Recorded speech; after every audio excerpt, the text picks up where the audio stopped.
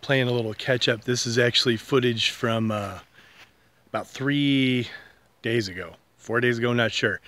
Uh, anyway, putting together new and uh, different versions of uh, Intrigue Man, which was called Like I Need This, but I went back to the original title. So, uh, still using Heavyocity damage.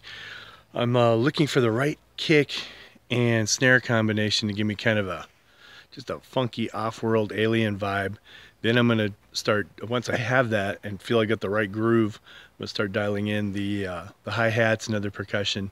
Then go back in and probably um, rework some of the bass lines. Not so much the lines, but the EQ and the way that bass sits. So anyway, I'm gonna play a little bit more of actually the Heavyocity damage uh, the different loops that are available. You can just hear all the various kind of cinematic and weird things that you have at your disposal. They're not probably going to fit in what I'm working on now, but they're still pretty fun to listen to. So here goes that.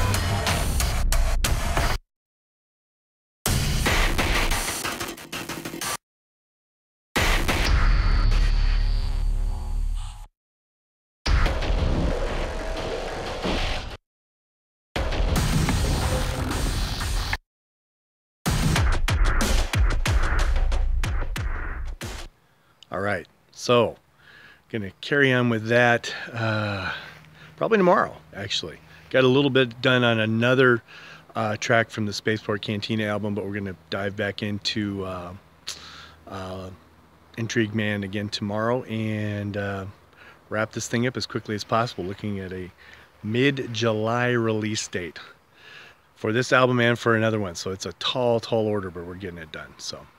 Thank you for checking it out. I think this is day 71. I'm having to look back at my notes.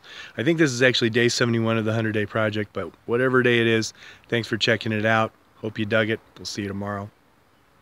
Farewell, my friends.